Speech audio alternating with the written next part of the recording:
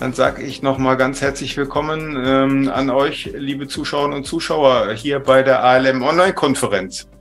Und äh, ein weiteres Highlight steht jetzt an, nämlich ein Kundenbericht. Kundenberichte sind ja immer ganz äh, besonders interessant, wenn man mal guckt durch Schlüsselloch, wie haben denn andere Unternehmen die Herausforderungen, äh, die wir auch haben, gemeistert. Und es geht hier jetzt um die Change Management Prozesse für die S4HANA-Implementierung bei ENBW. Energie war das Stichwort eben schon. Äh, und da geht es von der fachlichen Anforderung bis zur Produktivsetzung, die transparent und effizient umzusetzen.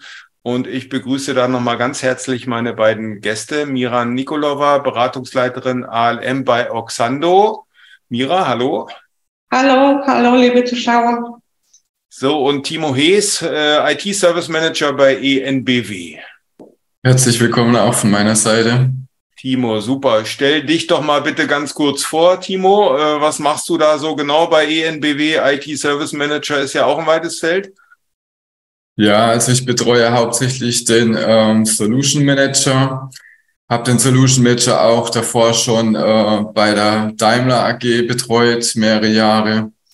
Und äh, ja, ich bin jetzt erst seit eineinhalb Jahren dabei und quasi pünktlich äh, zur Charm-Einführung äh, zur NBW gewechselt, ja. Super, gutes Timing da an der Stelle. Dann äh, Mira Nikolova, äh, stell dich bitte auch noch mal ganz kurz vor in zwei, drei Sätzen. Ich bin Beraterin für Application Lifecycle Management mit Schwerpunkt der Change Control Management, Test Management, Lösungsdokumentation und IT Service Management bin inzwischen 14 Jahre bei Oxando und äh, darf mit einem super Team hier arbeiten und freue mich heute auf den Vortrag. Super, wir freuen uns auch. Timo, so erste Frage mal an dich. Ähm, und, und vielleicht kannst du die ja gar nicht beantworten, wenn du so äh, gar nicht noch, noch gar nicht so lange dabei bist. Wie lange vor dem S4HANA-Projekt habt ihr euch denn so über die Change Management Prozesse eigentlich Gedanken gemacht? Weißt du das? Ja, also ich äh, war da nicht mehr involviert, aber ich habe mich natürlich schlau gemacht bei den lieben Kollegen, Kolleginnen, ja. Ähm, es war einfach so, dass wir die Challenge hatten, wie viele andere Unternehmen auch, ähm, dass jede IT-Landschaft mal an ihr Alter kommt, ja, dass man dann quasi out of support ist. Und die Frage stellt sich dann jedem, wie geht es weiter? Also was tun, sprach Zeus. Wir hatten äh, fünf ERP-Systeme parallel im Einsatz mit äh, 300 äh, Gesellschaften. Und äh, es gab dann ein Vorprojekt, das ging dann ein ganzes Jahr und äh, hat sich dann dazu entschieden, umzusteigen äh, von R3 auf die S4-Landschaft. Und äh, ist dann erstmal so gestartet und das Thema Solution Manager kam dann erst äh, 2021 ins Gespräch, ähm, ja, so im späten Frühjahr. Und äh, ich sag mal, von der Idee, bis wir dann den Charm-Prozess eingeführt hatten, äh, verging eine Zeit von neun Monaten. Alles klar, also dann sind wir ja schon mittendrin im Thema, äh, Timo. Vielen Dank. Äh, und äh, ja, mit Mira zusammen habt ihr da, glaube ich, einen Vortrag vorbereitet für uns. Äh, dann würde ich sagen, lauschen wir da mal ganz gespannt, was ihr so zu berichten habt aus eurem Projekt. Bis gleich. Wie gesagt, Ziel war es, diese 300 Gesellschaften äh, zu integrieren in einer S4-Landschaft. Äh, dazu haben wir eigentlich drei, Roll, äh, drei Roll-In-Wellen geplant. Äh, zwei sind schon abgeschlossen. Das heißt, so circa 90 äh, Gesellschaften arbeiten jetzt schon mit dem neuen System. Und äh, in der dritten Welle machen wir dann ein Big Bang und dann werden alle restlichen Gesellschaften dann auch integriert werden. Genau, also die Zahlen sprechen ja für sich. Also wir haben 120 Entwickler, davon auch sehr viele externe Kollegen. 180 Projektbeteiligte. Ähm, ja, ist sehr viel Traffic drauf, 8000 Transporte, 5500 Changes. Und äh, wir arbeiten in Streams, ähm, ja, nutzen hauptsächlich das Jira beziehungsweise das äh, Azure DevOps, äh, haben da elf Streams und äh, ja, sind da agil unterwegs, ja. Jedes Stream ist quasi so ein eigenes agiles Team. Und äh, ja, arbeiten hauptsächlich mit dem Jira, wo wir dann auch das Ganze dokumentieren, äh, Anforderungen, Ziel und den Solution Manager haben wir dann im Einsatz, ich sag mal, für das Transportwesen. Also wie kommt die Entwicklung von A nach B? Wir haben gerade darüber gesprochen, dass wir äh, im Jahr 21 dann halt mit den Diskussionen über den Change Control Management Prozess angefangen haben. Eigentlich sind wir viel, viel früher mit dem SAP Solution Manager Team ins Projekt eingestiegen. Das war im Vorprojekt 2019, äh, wo wir gerade mit einer heftigen Diskussion gestartet sind. Äh, brauchen wir denn überhaupt den SAP Solution Manager für die S4HANA-Transformation? Ähm, es hat viele Workshops äh, gedauert, also viele, viele Workshops gedauert, bis wir dann halt äh, uns einig waren, es geht nicht ohne.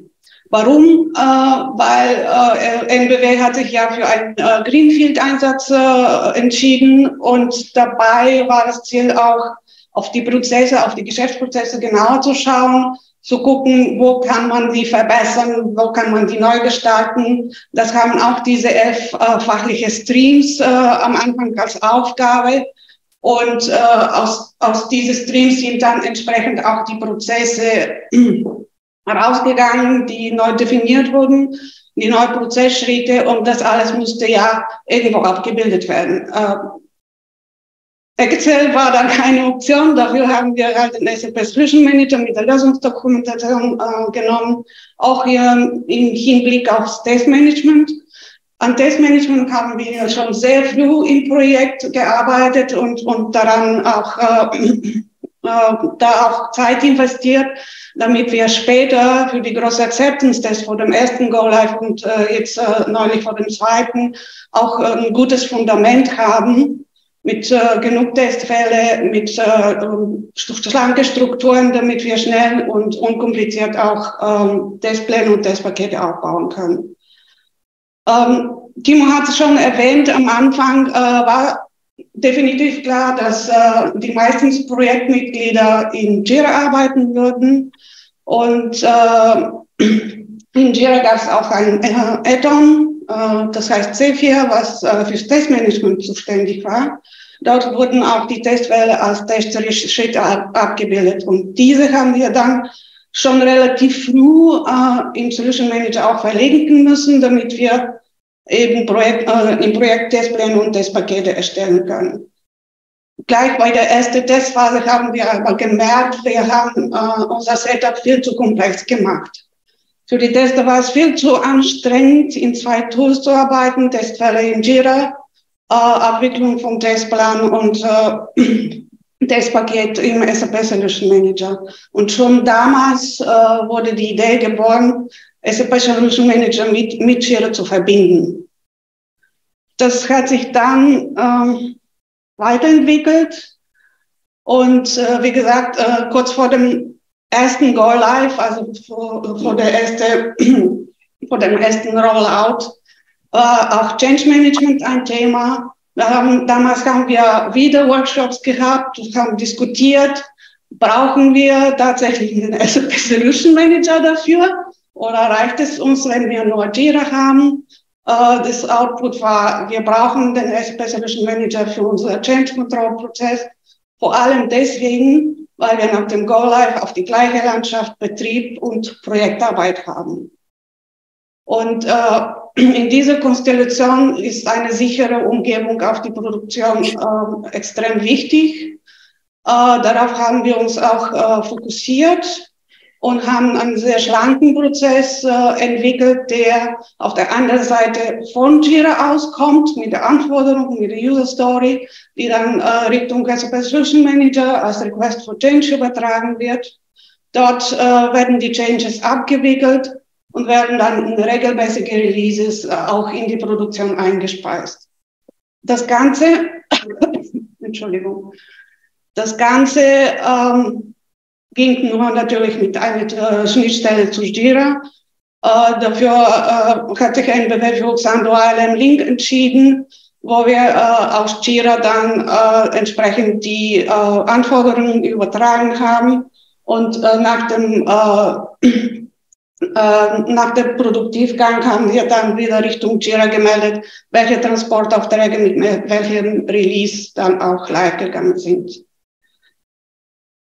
Das war das Setup für, für den Go Live im, im Februar 22. Später haben wir festgestellt, äh, es läuft ja gut und äh, es gibt aber auch noch Lücken im Prozess. Uh, NBW hat Base IT als uh, zentrales Service Desk Tool, wo alle Changes in den Landschaften auch dokumentiert werden.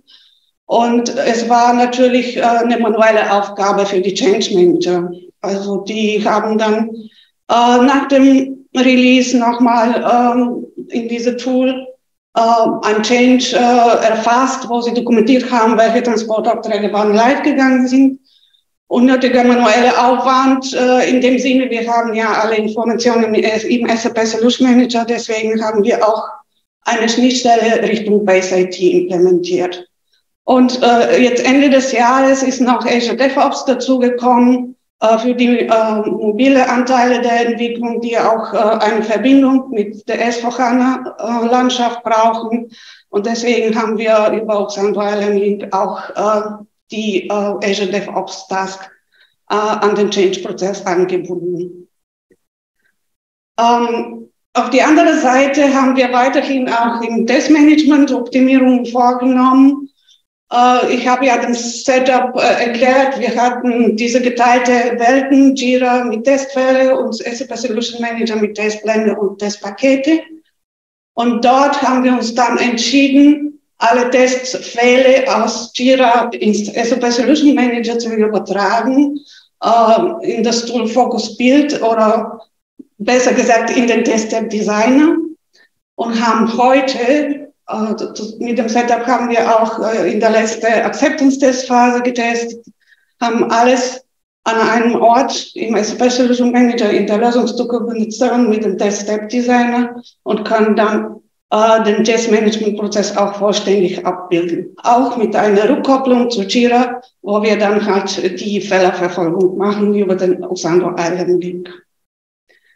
Aber jetzt würde ich gerne auch äh, an Timo übergeben, der wollte uns auch ganz konkret äh, erklären, wie der Change Control Management Prozess äh, heute funktioniert.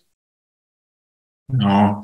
Also wie schon erwähnt, äh, Jira beziehungsweise das Azure DevOps sind eigentlich die gesetzten Tools, ähm, wo die Kollegen dann ihre User Stories äh, definieren äh, und auch die ganzen äh, Dateien ablegen. Und äh, wenn dann die User Story soweit ist, dass man sagt, okay, man kann sich jetzt an die Realisierung dran machen, ähm, dann äh, wird durch eines Setzen des Status in der User Story wird dann quasi die Schnittstelle angetriggert. Ähm, die läuft alle drei Minuten, äh, bekommt dann im Kommentarfeld einen Link, kann dann mit dem Link direkt abspringen in den Solution Manager ins System. Ähm, und es wird dann automatisch über die Schnittstelle ein Änderungsantrag ähm, angelegt, äh, so definiert, ich habe es ja schon eingangs gesagt, dass wir in diesen äh, Streams arbeiten, dass dann auch Change Manager und die ganzen Rollen äh, Release-Zyklus so vorbelegt sind, dass ich genau, dass es genau passt für den Stream. Und äh, die Change Manager Rolle haben wir so definiert, äh, dass das eigentlich immer ein interner Mitarbeiter sein muss, das bedeutet auch, ähm, ein externer Kollege kann zwar im Jira eine User Story komplett fertig erstellen, aber der äh, Änderungsantrag im Solution Manager kann nur durch einen internen Mitarbeiter freigegeben werden. Dort wird dann ganz normal getestet und so weiter. Und äh, wenn dann das Ganze live geht, dann ist es so, wie die Mira schon gesagt hat, dann erfolgt die Rückkopplung über die Schnittstelle. Das heißt, in das Jira-Ticket werden dann äh, die Release-Nummern werden hinterlegt, das Release-Datum und auch die Transportaufträge werden reingeschrieben, mit der die Entwicklung dann letztendlich auf die Produktivumgebung gegangen ist. Genau, das heißt, man hat hier eigentlich eine volle Transparenz und äh, gegenüber den Wirtschaftsprüfern ist man auch jederzeit äh, auskunftsfähig, welche Entwicklung äh, mit welchem Transportauftrag dann letztendlich realisiert wurde.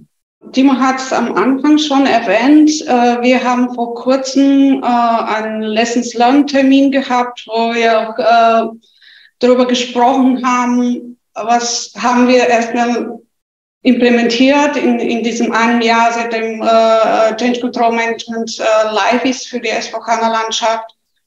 Äh, wir haben darüber gesprochen, ob wir uns organisatorisch verbessert haben, äh, ob wir uns technologisch verbessert haben. Aber ich denke, Timo, das kannst du am besten äh, erklären, was da die äh, wesentlichen Aussagen in diesem Termin waren. Genau, also die wesentlichen Aussagen waren, zum einen hat man eine sehr gute Transparenz. Und zwar, ich habe ja meine Änderungsdokumente im Solution Manager, äh, kann dann jederzeit auswerten, wie weit bin ich eigentlich mit meinen Entwicklungen? Sind die vom Status in Entwicklung? Sind sie bereit äh, zum Testen oder sind sie vielleicht sogar schon erfolgreich getestet?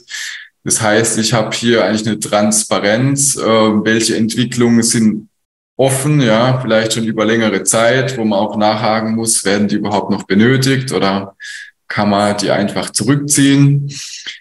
Ähm, es ist auch so, dass wir weniger Fehler haben beim Import in die Produktivumgebung. Äh, Stichwort ist eigentlich die Downgrade Protection, äh, wo dann eigentlich, bevor der eigentliche Transport erfolgen kann, nochmal prüft, ob es Konflikte gibt, zum Beispiel hinsichtlich Überholern, äh, wo dann der Entwickler nochmal draufschauen muss, ob das auch wirklich passt. Also die Anzahl an RC8 ja, kann man eigentlich in einer Hand abzählen. Ja, kommt eigentlich sehr, sehr selten vor. Ähm, durch die Steuerung, zum Beispiel mit der technischen Rolle Change Manager, haben wir wirklich ähm, die Hoheit über das System. In der Vergangenheit äh, hat jeder, sobald er einfach fertig war mit seiner Entwicklung, transportiert. Ja. Ähm, was mich auch zum nächsten Punkt führt, Thema Release Management. Sag mal, wir haben jetzt drei Release-Zyklen, davon zwei täglich um 6 Uhr morgens und um 18 Uhr abends. Ähm, das heißt, ähm, ist dann auch schon über die Schnittstelle vorbelegt, im Änderungsantrag, welche Entwicklung mit welchem Zyklus dann produktiv gehen soll. Und ähm, ich sag mal, vor dem Charm-Prozess haben wir quasi äh, wild transportiert, sage ich mal. Ja, das heißt, wir haben vereinzelt transportiert, nicht gebündelt. Ähm, das hat äh, einen großen Nachteil. Also zum einen führt es natürlich zur Unruhe im System. Wenn ich jetzt alle fünf Minuten oder alle zehn Minuten wieder was Neues transportiere, äh, kann man eigentlich nicht von, äh, von einer stabilen Umgebung sprechen. Und zum anderen ist es auch so, dass ich hier einen Konflikt bekommen kann hinsichtlich der Transportreihenfolge. Sag mal, habe ich jetzt ein Release, wo jetzt 80 Transporte warten, äh, bis es losgeht. Der Solution Manager kennt die richtige Reihenfolge. Also da kann es eigentlich nicht zu Überholern kommen, weil von der Logik her äh, scannt er das Ganze nach Klasse, nach Programm, nach Objekt und so weiter und äh, bestimmt dahingehend die richtige Reihenfolge, dass auch wirklich nichts schiefgehen kann. Also das ist eigentlich das Fazit, das Positive, was wir jetzt gezogen haben, ja, nachdem wir jetzt schon ein Jahr quasi schon wieder live sind. Vor allem auch äh, keine Medienbrüche mehr. Also wir fangen in Jira an mit, äh, mit der User Story. Diese geht rüber äh, ins Change Control Management, voll spezifiziert mit allen Feldern, die notwendig, notwendig sind, so, schon vorbelegt, so dass der Change Manager direkt loslegen kann. Wir haben äh, hinten nochmal die Rückkopplung äh, Richtung Jira mit der Information, wann ist welcher Transport live gegangen äh, und äh, parallel dazu nochmal die Rückmeldung äh, Richtung äh, Base IT, wo auch die Changes dokumentiert sind. Genau das gleiche mit, mit Azure DevOps. Und wenn man ans Testmanagement denkt, dann nochmal äh, ein, ein Defect Management, denn aus dem Solution Manager mit Jira spricht wo alle äh, Defects äh, zu, zu den entsprechenden User Stories gelinkt sind und äh, dann wiederum im Fällerfall wieder den Change-Prozess im Solution Manager geht. Das äh, war auch ein wichtiger Punkt, äh, dass, äh, dass wir festgestellt haben, dass äh, sorgt für mehr Zufriedenheit äh, bei allen, die beteiligt sind am Change Control Management Prozess. Äh, das äh, sorgt für Transparenz, das sorgt für ähm, äh, entspanntes Arbeiten am Ende des Tages, weil äh, bei der Medienentwicklung, die dann äh, täglich bewerkstelligt werden äh, in dem Projektumfang, äh, sind diese Aspekte, glaube ich, äh, sehr zentral und sehr wichtig. Ich persönlich habe gelernt, äh, es ist wichtig, auf die Prozesse immer wieder drauf zu schauen. Es ist wichtig, sich immer wieder Gedanken zu machen, wie kann ich meinen Application Lifecycle Management Prozess optimieren, sei es Testmanagement, sei es äh, Prozessmanagement oder Change Control Management. Es gibt immer Stellen, wo man was optimieren kann und man soll sich nicht davor scheuen. Äh, Im Gegenteil, wenn man bisschen was investiert, dann bekommt man am Ende des Tages Prozesse, die einfach durchgängig sind, die transparent sind und für alle, die äh, beteiligt sind, auch äh, äh, ein, ein Stück weit bequem. Ähm, was wir auch gelernt haben, wir sollten keine Angst davor haben, dass da äh, ein Ökosystem von Tools sich entwickelt. Im Gegenteil, es ist wichtig äh, zu sehen, welches Tool wo Vorteile bringt und das äh, zu integrieren. Und ähm, das haben wir auch mit Oxandra Lemlin gemacht. Und äh, nicht zuletzt, äh, SAP Solution Manager ist ein Tool, das uns alle wichtigen Application Lifecycle Management Bereiche unterstützen kann. Und deswegen setzen wir weiterhin äh, auf das Tool und äh, beraten auch unsere Kunden entsprechend auch wenn wir wissen, dass sich die Zukunft äh, ändert, dass wir dort vielleicht mit anderen Tools konfrontiert sind. Heute für eine S4HANA-Implementierung bietet uns der SAP Solution Manager die beste äh, Werkzeugkiste, sage ich mal. Äh, und deswegen ist das die richtige Wahl, glaube ich. Dann, Timo, vielleicht für dich nochmal zusammengefasst, was hast du in unser Projekt gelernt? Nee, also die Kollegen sind auf jeden Fall sehr zufrieden mit der aktuellen Lösung. Wie gesagt, wir haben jetzt durch die Schnittstelle keinen großen Systembruch mehr. Braucht sich auch gar nicht mehr im SAP selbst anmelden, klickt einfach auf den Link etc. Hat auf jeden Fall die Zufriedenheit und die Akzeptanz gesteigert. Das ist so meine Wahrnehmung. Vielen Dank. Also äh, ganz toller Erfahrungsbericht, Projektbericht. Es gibt eine Frage aus dem Zuschauerkreis. Gibt es denn keine langfristigen Release-Zyklen bei euch? Äh, fragt der Zuschauer mit dem Augenzwinkern. Äh, macht ihr da alles zweimal täglich? Nee, also es gibt äh, natürlich noch einen dritten Zyklus. Äh, das sind dann eigentlich die Themen, ich sag mal, wo wirklich Neuland sind, ja. Also wo man nicht von Bugfix etc. sprechen, ja wo man sagt, die sind jetzt auch nicht äh, dringend ähm, und können warten. Äh, da haben wir einen Zyklus, äh, wo wir alle drei Wochen, drei Wochen einspielen, genau. Mhm. Super. Dankeschön dafür, für die Beantwortung. Äh, wie sieht, Timo, wie, sie, wie, siehst du denn jetzt äh, dieses Thema Solution Manager Abkündigung und ähm, Transformation in Richtung möglicherweise anderer ALM-Lösungen? Äh, hast ja bestimmt auch eine Meinung zu, oder? Ja, gut, ich sag mal, als die, als die Arbeitskollegen es gehört haben, ja, dass der Solution Manager abgekündigt wird, hat es erstmal für ein Stück weit Unsicherheit gesorgt ähm, nach dem Motto, ja, jetzt sind wir ja quasi erst auf den Charm-Prozess äh, umgestiegen, ja, jetzt wissen wir, in ein paar Jahren äh, wird das System in der Form gar nicht mehr geben, ja, was machen wir dann? Dann müssen wir schon wieder was Neues äh, angehen. Ja, aber ich denke, wie überall, ja, der Fortschritt ist nicht aufzuhalten und äh, ich hoffe einfach, ja, dass man dann mit dem ALM dann auch äh, eine adäquate Lösung dann bekommen kann. Ja. Wir haben noch eine Frage. Was sind eure Erfahrungswerte mit der Nutzung des Testfalldesigners im Solman durch den Fachbereich? Kannst du dazu was sagen, Timo? Also wir hatten jetzt den äh, äh, Abnahmetest durchgeführt. Äh, war schon mal ein Umstieg.